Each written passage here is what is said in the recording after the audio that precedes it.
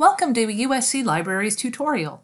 This tutorial will cover why and how you can share USC Libraries licensed online materials with other USC affiliates.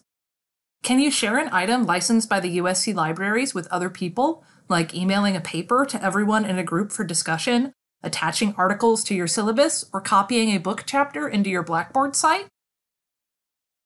There are many laws, rules, and regulations governing the publishing, purchasing, and licensing of scholarly materials, leading to a lot of uncertainty about the appropriate practices.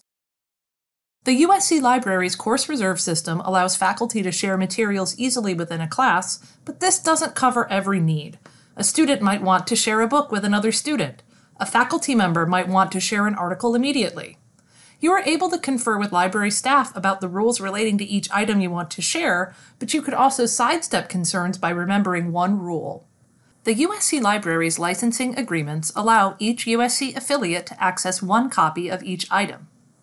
If you send permanent links or permalinks to library resources, the recipients of the permalink can log in with their own USC Net ID and password and access their own copy of the item. This will allow you and the recipient to comply with applicable rules and regulations. Here's how you can find and use permalinks. Open a library's website. Locate the search box at the top of the page and use the pull-down menu to change the search to catalog and articles. Search for the item of interest. I'm going to use the title of an article. Click Search. Once you find your item, click the item to open the full record. Look for the permalink button. Click on it to show the permalink. Copy this permalink and paste it anywhere. You can put it in a syllabus, an email, or a Blackboard site.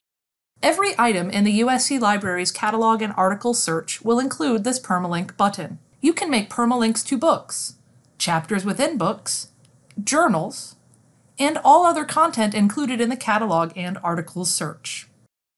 When someone receives the link from you, they will click it and be taken back to the same catalog page. Then they can locate the View Online section, click on the link to log in, and access the material.